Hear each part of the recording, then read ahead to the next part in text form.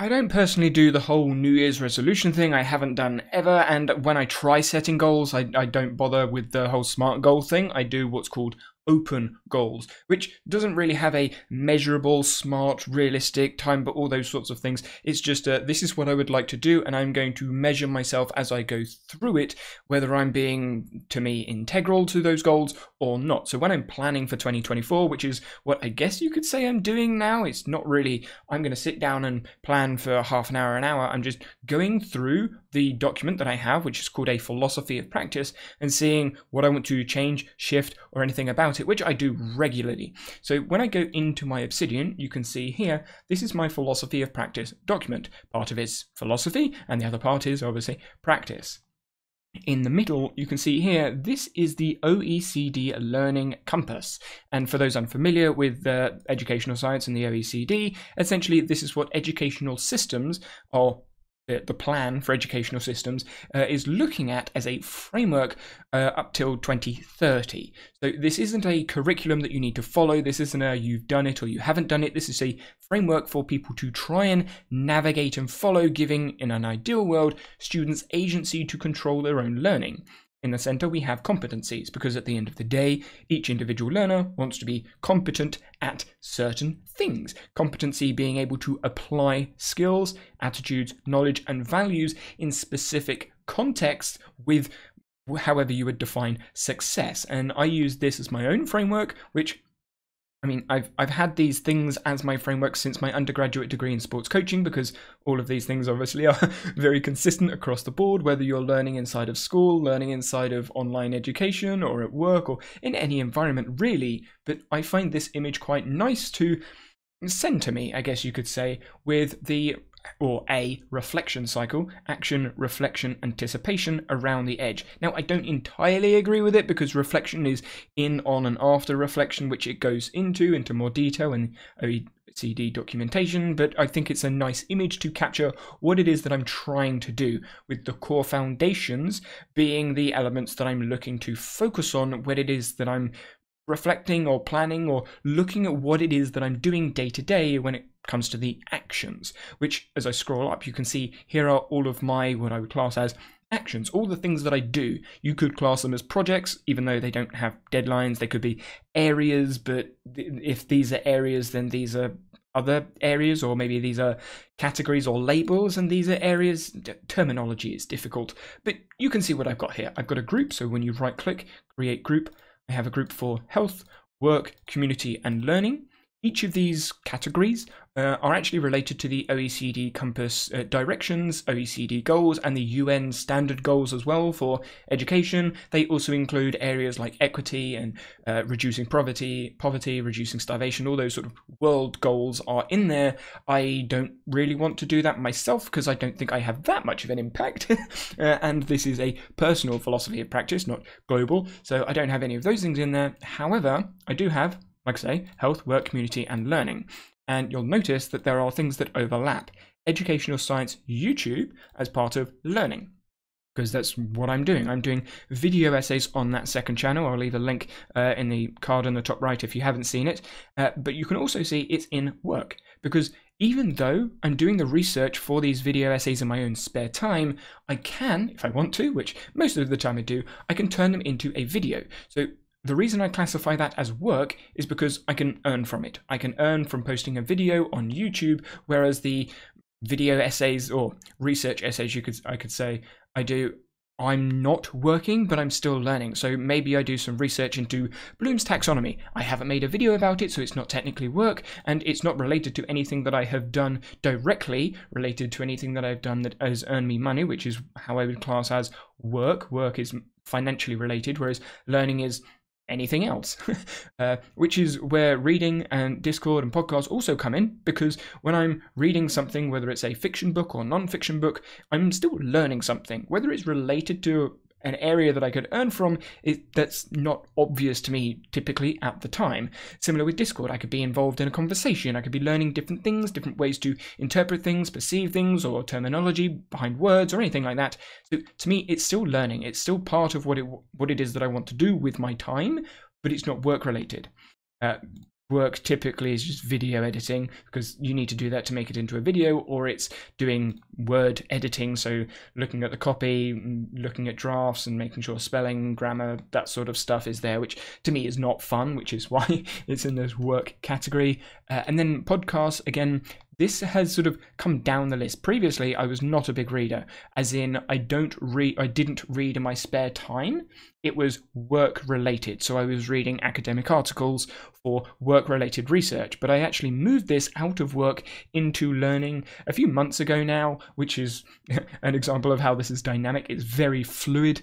Uh, so now reading is part of learning because I'm reading books in my own time just for fun and for learning rather than it being for work because previously that was down here and it was hardly ever done, but it was there because I needed to research. But now I, I do the reading outside of. Uh, the podcast has now dropped down because a lot of the podcasts repeat things that I've heard before, and I don't like repeated information, so uh, I've reduced the priority, I guess you could say, of listening to podcasts now, depending on who they are. So yeah, uh, then when we go to community, you can see family right at the top. It's also right at the top for health because I think that family should come first. So family is at the top of health and community.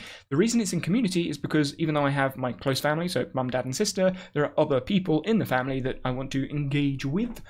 Then Discord, similar, it's engaging in different communities, not necessarily communities you'd think up. So maybe the Zwift community for health related cycling, I'm talking with people in there about who knows what stats, maybe it's heart rate variability or anything that's exciting for well the the specific discord communities that i'm in that's writing authors podcasts zwift like i say uh, chess discords as well which is part of health and hobbies. So discord is just engaging with other people and talking with other people which is what i do a lot of the time. So you can see if i'm not talking with my family i'm often most of the time on discord talking with people.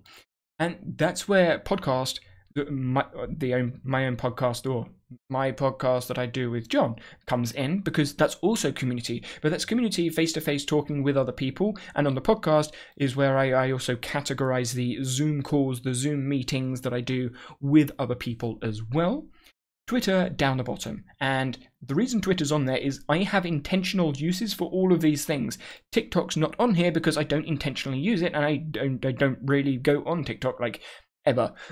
uh, but Twitter, I am on, but I'm not on it just to scroll through randomly, and I'm not on it to just flick through quotes that people can get from anywhere. I go on Twitter to have a conversation with someone. Maybe that's a quote tweet because I disagree with something that someone said, or a quote tweet because I want to surface something that someone said, or I tweet about something that I've experienced or someone else has experienced, or I contribute to an, an element of some sort of conversation. I don't go on there just to look at random things that people are saying. There, there is a purpose, which is very similar with the Discord Academy, but the Discord Academy is me sharing ideas and thoughts specifically to those that want to know exactly how I work. And the work section, you can see this YouTube channel is now second. Previously, that one was down here.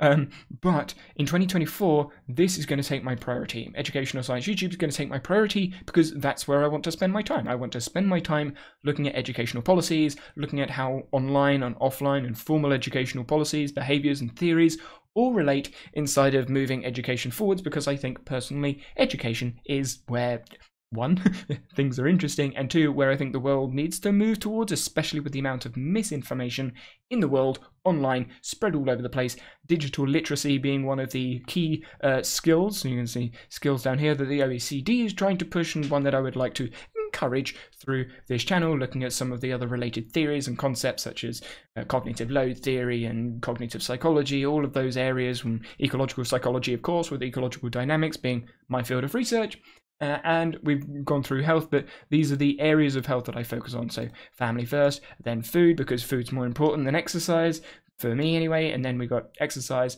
then reading and chess, just as like some side hobbies, I guess you could say. All of this very specific to words. I, I try and keep word specific, which is why I have my lexicon over here, which are any concepts, words, and terms related. And that is heavily influential in these little summary cards, I guess you could say.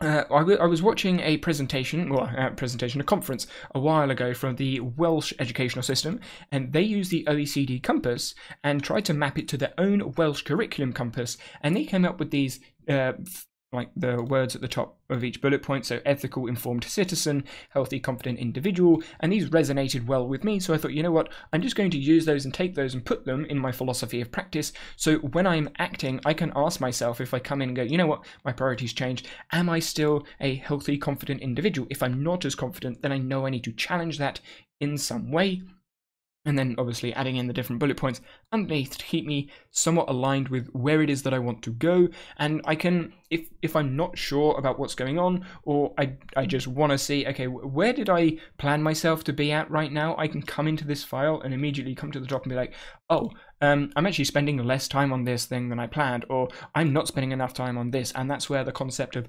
periodization uh, is used. For me, that comes from strength and conditioning, my master's degree, and I maintain some areas. So maybe I'm maintaining my health most of the time. So this sort of just sits the same, but I want to focus on, so I want to improve educational science research, or I want to improve the Danny Hatcher channel, or I want to improve the academy. So if I'm improving the academy, the focus will be up the top and the others will come down, and then I will maintain these other areas. So maybe there's been an argument at home and I disagreed with something that dad said, so I'm going to focus on building up that relationship again or doing whatever I need to, so we're not just like scowling at each other, um, which means these other areas will take a, a drop in my focus and where my energy is directed at.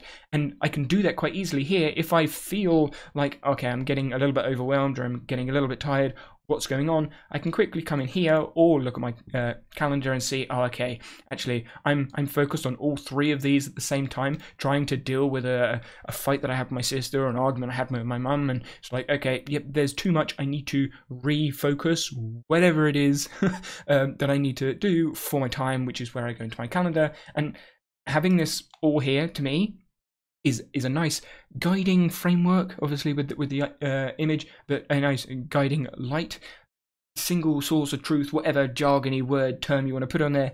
I just come in here and go, okay, yeah, I I've, I'm overdoing myself. I should probably shift somewhere else. And I, I say that, but obviously this is dynamic. So sometimes I don't come in here for two, three months, and I can shift what it is that I'm doing because I'm engaged. I'm constantly engaged with the intentional choices they've made. So Twitter, I know it's an intentional choice. So whenever I'm on Twitter, I recognize I'm on this too much or I'm not on this enough to keep up to date with notifications from BBC Education or the, the National Institute of Teaching have posted something that I haven't updated or seen, it's in bookmarks, those sorts of things. If I want to be engaged in that, I'm constantly going. This is where the action, reflection, uh, anticipation cycle goes through and I'm just constantly engaged in the philosophy of practice, even though I'm not on the file. That's how I look at this. This is how I'm planning, I guess you could say, for 2024. But that's a bit of an insight into how the how some of the thinking behind my behind my actions happens.